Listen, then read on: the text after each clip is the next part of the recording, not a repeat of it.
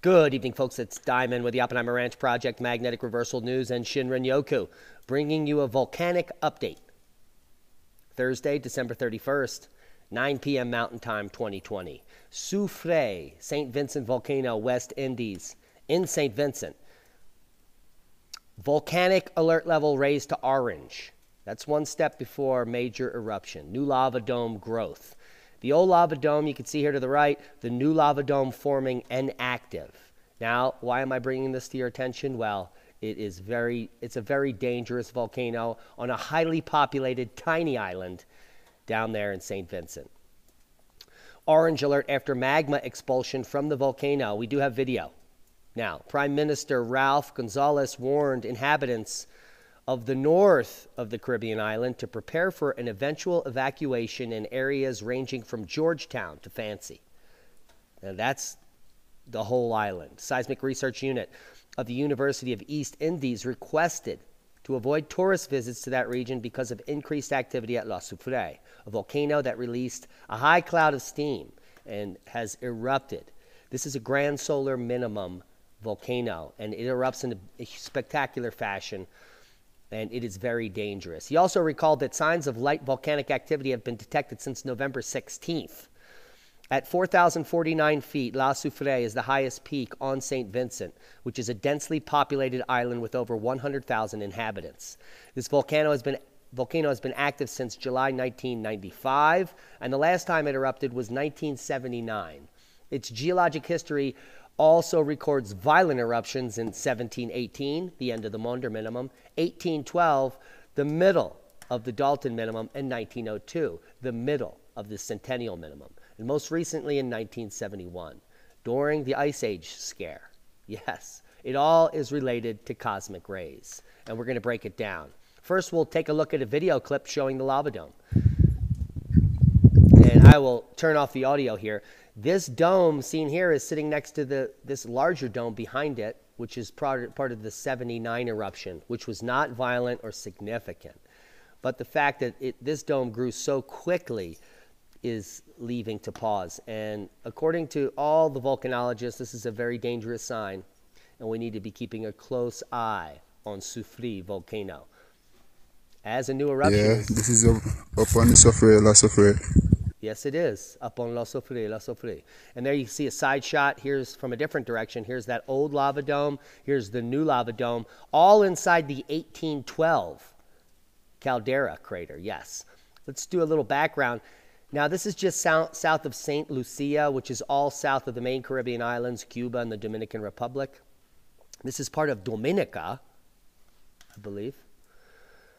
And now the eruption style here is effusive lava dome extrusions, and that's this one and that one, 79 and recent, but it's typically explosive. And we'll get to the breakdown of the history here in just a moment.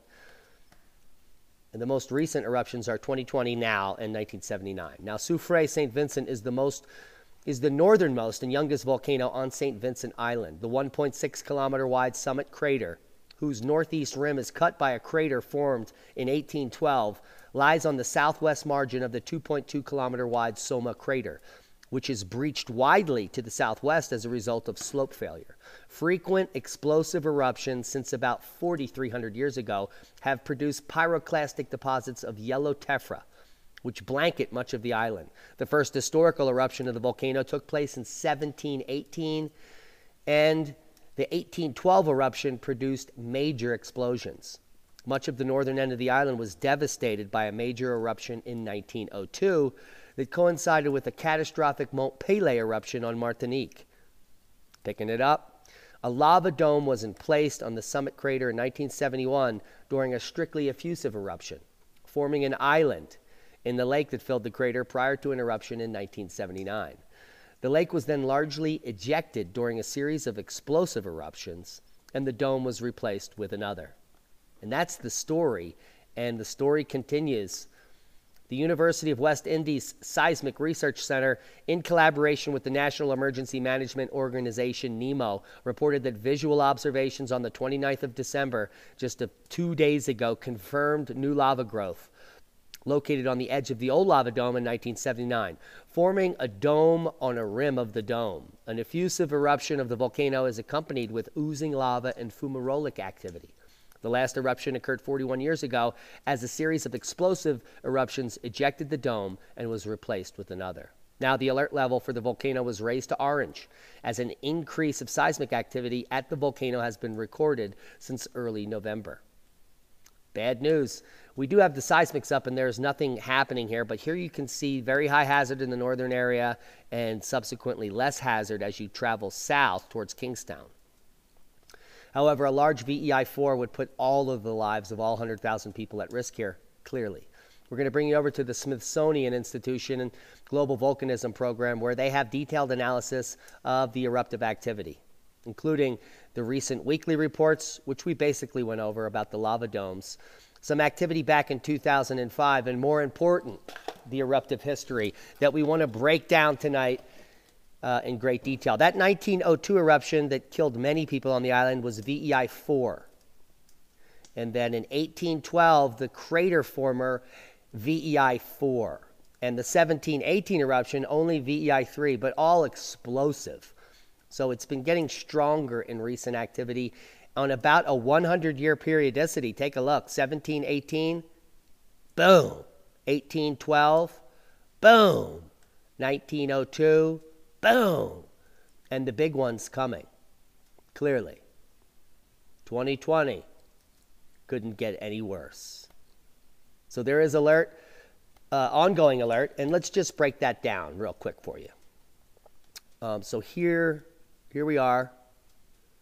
Let's real quick take a look from 1718 to present. VEI 3 in 1718 would coincide with the end of the Maunder minimum during a high cosmic ray flux period. The VEI 4 back here in 1812, well, that's very telling. Here's 1810 12, right here at the minimum of the Dalton, high cosmic ray flux, in 1812. And then we come look at the next VEI 4 in 1902, and that puts us square center at the minimum here during the centennial minimum. All of these major eruptions followed two cycles of high cosmic rays or low solar cycles here in the Dalton. Look at how small that cycle was. Almost no cycles reported before the eruption in 1712. And we are coming off of the smallest cycle in 40 years. Really 80 or 90 if you want to go way back.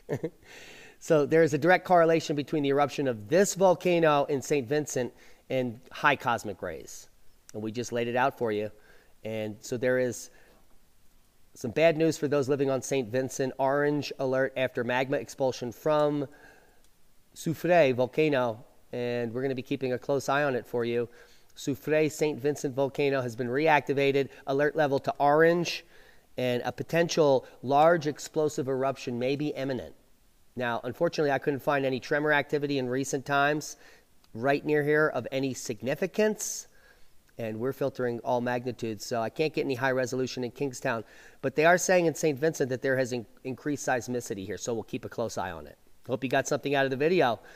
Volcanoes are awakening, and the last time this baby blew, Mount Pelée blew in Martinique. So we're going to keep a close eye on Soufrière, as we know that it erupts at VEI4 during high cosmic ray periods. Be safe, everyone. That's a boom to knowledge.